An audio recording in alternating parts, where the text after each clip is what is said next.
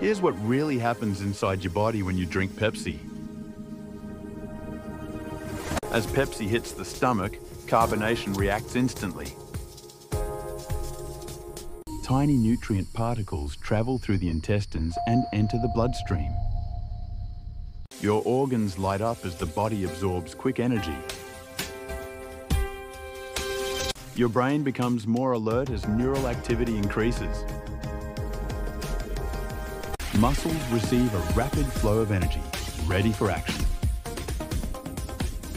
Your gut microbiome responds instantly, breaking down the drink. A sudden burst of energy spreads through your whole body. But too much Pepsi can irritate the stomach lining. In rare cases, it may trigger mild allergic reactions. The sugar hits your bloodstream fast, causing a quick spike. And afterward, your energy levels can suddenly crash.